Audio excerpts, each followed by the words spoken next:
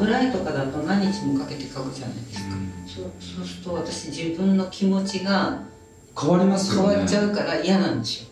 やっぱ嫌嫌ですか嫌なんですただ嫌だっていう理由だけです。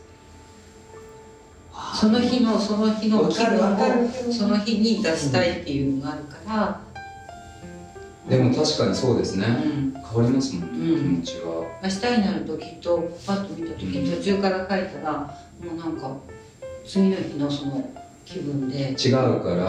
作品のきっと上がりはち多分違う。ですよね。一個のものを作ってる時に気分変わっちゃうとかもあるんですかね。一日くらいとかでもあんまりないかそれ。うん。でも私はあのなんか最初からあのこの一つの作品の完成形っていうかイメージして絶対描かないんですよ。ああそうなんだ。え私は。それは書き始めてその過程でなんかこうしつながっていくっていうかこう出来上がってくるものなんですかイメージがあってこう書こうじゃなくて。ないないないないです。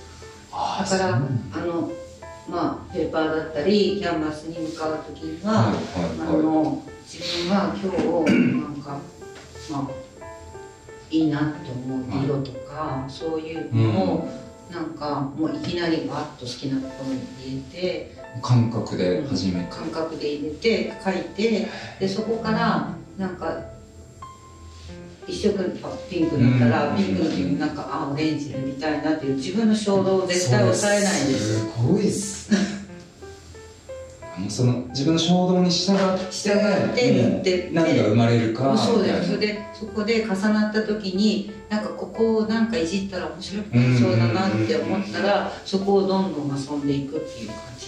だから本当に色遊びみたいな感じ。それを繰り返していってこうやって仕上がってそうそう。だから想像はしてないですよ最初から。こんなふうに出来上がるとか思ってないからあのあそういうふうにそうどの書いてる。書いてる。そう書いてる。んですねだから完成図は全くないですどうやってる。んだどうする。んですかだから大きなイメージはありますよタイトルっていうんじゃなくて、なんかこんなよううんだからまあこの絵だったら最近すごいみんなに優しくしてもらってっていうそのなんか優しさをいっぱい浴びてる。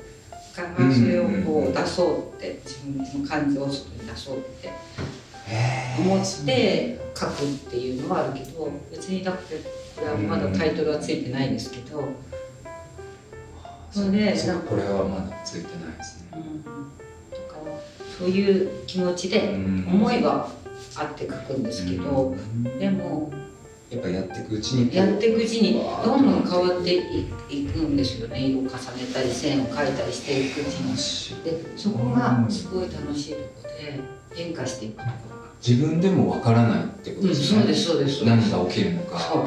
そのなんかこうこう出会いみたいな。でも出会いですよね。うん完全に。だって自分でもわからないから。衝動を重ねて何に出会うかそこでなんあか自分なりに遊んじゃうっていう。だからそこがその人の個性そっかそっかどう遊ぶかが個性になってくる、